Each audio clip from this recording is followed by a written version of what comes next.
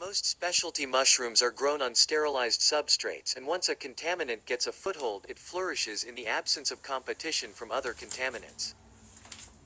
In nature, complex interactions among hundreds of other fungi, bacteria, nematodes maintain an ecological equilibrium. In a sterilized medium, the grower provides ideal conditions for the contaminant to prosper. The only competition for these contaminants is the cultivated fungus itself. Signs of contamination. Odor.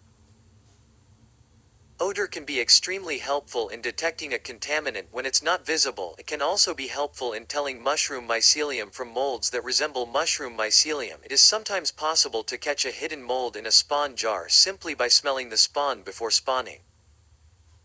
Odors are easiest to detect immediately after shaking. Odor can also be helpful when it comes to agar work. While not all molds produce an odor, I haven't found a P. cubensis culture that didn't smell like mushrooms. Slime. A common sign of bacteria is a slimy appearance of mycelium or grains. In areas where substrate presses against glass and condensation is present brown-yellow slimy rings are often present around the grains. On the other grains it may be noticed as a sort of gel or a crust on the grain surface. Oils and starches from burst grains may appear similar and but will already be present at the end of sterilization whereas bacteria will appear later. Dusty texture. Sporophores are usually too small to see individually, however they can often be seen collectively as a powdery layer covering the substrate or mycelium looking for this texture is very helpful in distinguishing them from bruising or other discolorations the mushroom mycelium may develop. 1. Wet spot sour rot, Bacillus sp. In grain spawn jars one commonly encounters bacillus which sometimes survives the sterilization process as heat-resistant endospores a dull gray to mucus-like brownish slime characterized by a strong but foul odor variously described as smelling like rotting apples dirty socks or burnt bacon. Bacillus makes uncolonized grain appear excessively wet, hence the name, wet spot pallid to whitish ridges along the margins of individual grain kernels characterize this contaminant bacillus primarily reproduces through simple cell division in times of adverse environmental conditions, especially heat a single hardened spore forms within each parent cell body. Bacterial endospores which can survive high temperatures for prolonged time. The most practical method for eliminating bacterial endospores involves soaking the grain at room temperature 12 to 24 hours prior to sterilization. Endospores, if viable, will germinate within that time frame and then be susceptible to standard sterilization procedures and new endospores won't form in the moist environment of the resting jar of grain. 2. Bacterial blotch, Pseudomonas tolaasii, p. fluorescens. Yellow to brown lesions form on mushrooms typically spotting occurs at or near the edge of mushroom caps blotch occurs when mushrooms remain wet for a period of 4 to 6 hours or longer after water has been applied. The bacterium is spread in airborne soil particles controls include lowering humidity and watering with a 150 ppm chlorine solution. Calcium hypochlorite products are used since sodium hypochlorite products may burn caps. If the mushroom stays wet, however chlorine has little effect since the bacterial population reproduces at a rate that neutralizes the effect of the oxidizing agent. Shiitake caps are affected by a bacterial disease caused by Pseudomonas gladioli, Burkholderia gladioli. Sanitation is a critical component of control measures. 3. Cobweb mold or dactylium mildew, Hypomyces sp. A cottony mycelium grows over casing. When it contacts a mushroom the mycelium soon envelopes the mushroom with a soft mildewy mycelium and causes a soft rot. It is also a parasite of wild mushrooms. Cobweb mold is darker than mycelium almost gray as compared to white. The difference in color is sometimes hard to tell for somebody that hasn't seen them side by side before. Cobweb has several other indicators. The one that sticks out is the speed of growth. A small patch the size of a dime will spread to cover an entire jar, casing in just a day or two. Cobweb is also very very fine strands. While mycelium tends to be thicker ropes cobweb mold is favored by high humidity control strategies include lowering humidity and or increasing air circulation. 4. Green mold, Trichoderma harzianum. Green mold caused by Trichoderma harzianum is characterized by an aggressive white mycelium that grows over the casing and onto mushrooms, causing a soft decay masses of spores that eventually form are emerald green, heavily infested patches of compost or barren. Many commercial products are available for cleaning surfaces.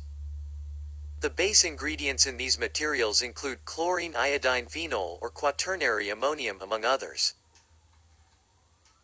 Other green molds may be better defined as indicators since they don't seem to be as aggressive as Trichoderma harzianum. These species of Trichoderma also sporulate on the casing surface and may sporulate on infected mushrooms. These fungi indicate that carbohydrates are available possibly due to inadequate nitrogen supplementation during phase 1 or under composting.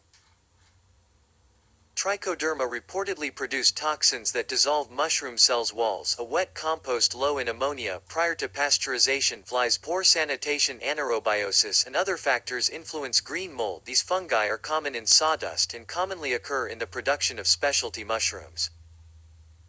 Trichoderma is often mistaken for penicillium or aspergillus molds, and vice versa, being that all three look very similar and are not easy to tell apart without the use of a microscope. 5.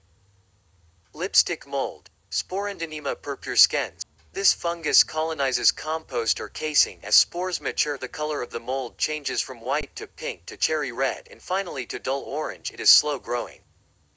Spores spread in air during watering and on pickers. The lipstick mold utilizes certain fats in the compost. It is an uncommon problem. Control is centered around sanitation. 6. Pink mold red bread mold, Neurospora. Commonly to occasionally seen on agar and grain Neurospora is fast-growing sometimes taking only 24 4 hours to totally colonize a media-filled petri dish. It is ubiquitous in nature, occurring on dung in soils and on decaying plant matter. Since this fungus grows through cotton stoppers or filter discs a single contaminated jar, though sealed can spread spores to adjacent spawn jars within the laboratory. This condition is more likely if the filter discs or cotton plugs are the least bit damp or if the external humidity is high. 7. Blue-green molds, Penicillium spp.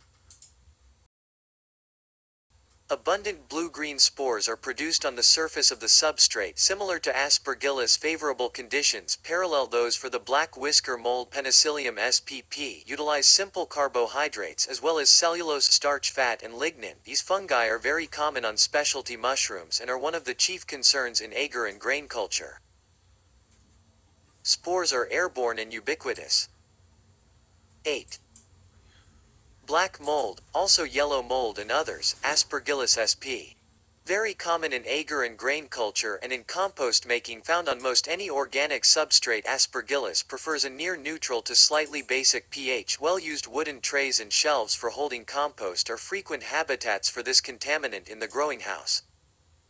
Species range in color from yellow to green to black most frequently Aspergillus species are greenish and similar to Penicillium.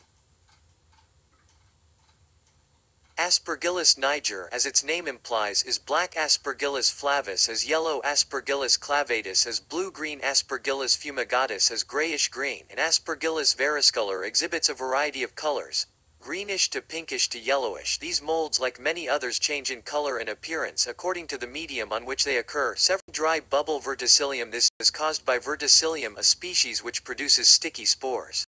This is the most common and serious fungal disease of mushroom crop. If it is left uncontrolled disease can totally destroy a crop in 2 to 3 weeks. Whitish mycelial growth is initially noticed on the casing soil which has a tendency to turn grayish yellow. The symptoms produced vary with the developmental stage of the mushroom at the time of infection at pinhead formation results in the production of malformed pinheads which turn a gray-brown color and remain leathery. Infection at a later stage causes a thickening of the stipe especially at the base. Abnormalities 1. Rosecomb Condition where pink gill tissue often with a porous appearance develops on the surface of a mushroom cap. The cause has been attributed to contamination by petroleum-based materials. 2. Scaling The natural reaction of the mushroom cap to dry air. 3. Stroma Dense mycelial growth without fruiting stroma occurs if spawn is mishandled or exposed to harmful petroleum-based fumes or chemicals. It also occurs in dry environments.